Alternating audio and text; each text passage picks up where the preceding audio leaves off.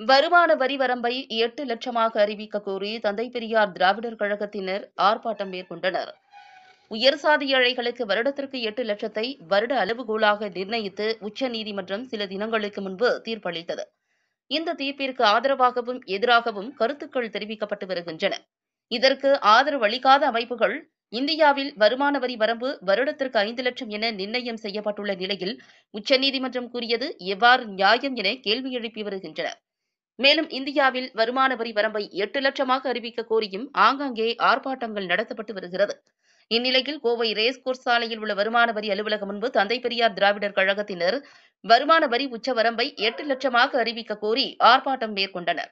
தந்தை பெரியார் திராவிடர் கழக பொதுச் செயலாளர் கு. ராமகிருஷ்ணன் தலைமையில் நடைபெற்ற இந்த ஆர்ப்பாட்டத்தில் இருபதுக்கும் மேற்பட்டோர் கலந்து கொண்டு அவர்களது கோரிக்கைகளை வலியுறுத்தி பதாகைகளை ஏந்தி முழக்கங்களை எழுப்பினர்.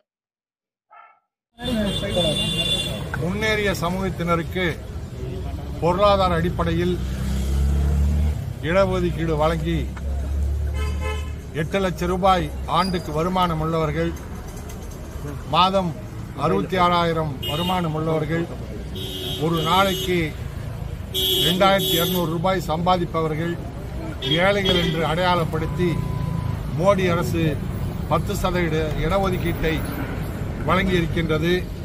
அதை உயர் உச்சநீதிமன்றமும் ஏற்றுக்கொண்டு அந்த பத்து சதவீத இடஒதுக்கீடு சரி என்று உத்தரவிட்டிருக்கின்றது. இதன் அடிப்படையில் எட்டு லட்சம் சம்பாதிப்பவர்கள் இந்திய நாட்டில் ஏழைகள் என்று அறிவிக்கப்பட்டிருக்கின்றார்கள்.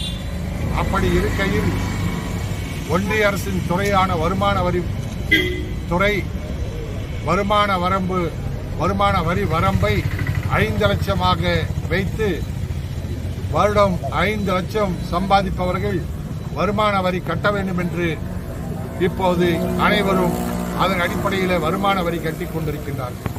எட்டு லட்சம் சம்பாதிப்பவர்கள் ஏழைகள் உயர் உச்சநீதிமன்றம் சொல்லுகிறது ஒரு பக்கம் ஐந்து லட்சம் சம்பாதிப்பவர்களை வ- வரி கட்ட வேண்டும் என்று வருமான வரி வசூலிக்கின்றார்கள். அதனால் நாங்கள் ஐந்து லட்சம் சம்பாதிப்பவர்களை பரம ஏழைகள் என்று அறிவித்து இந்திய ஒன்றிய அரசு அறிவிக்க வேண்டும். வருமான வரி வரம்பை எட்டு லட்சமாக உயர்த்த வேண்டும் என்ற கோரிக்கையை முன்வைத்து இன்றைக்கு இந்த ஆர்ப்பாட்டத்தை நடத்தி கொண்டிருக்கின்றோம். பொருளாதார அடிப்படையில் இந்திய ஒன்றியத்தில் இடஒதுக்கீடு வழங்குவது சமூக நீதிக்கு அநீதியாகும். ஆனால் வழங்கி இருக்கின்றார்கள். வழங்கி இருக்கக்கூடிய நிலையில இந்த நாட்டில் வ- வறுமை கோட்டு கீழ் உள்ளவர்கள் ஒரு நாளைக்கு இருபத்தி மூன்று ரூபாய் சம்- சம்பாதிப்பவர்கள் வறுமை கோட்டு கீழே உள்ளவர்கள் என்று ஆய்வறிக்கை சொல்லுகிறது.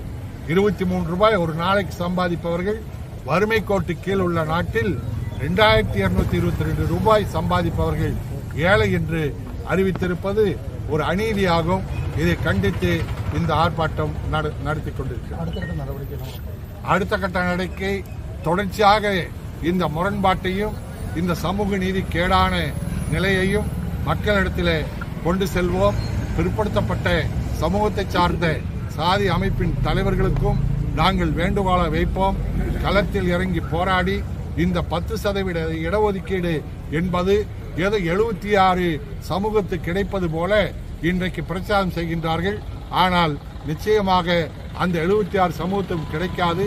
ஒட்டுமொத்தமாக ஒரு பார்ப்பனர்களுக்கு மட்டுமே பலனளிக்கக்கூடிய ಎಡ ಒದಗಿಡಿದ ಇದು ಪತ್ತು ಸಾಧ್ಯವಿದೆ ಎಡ ಒದಗಿ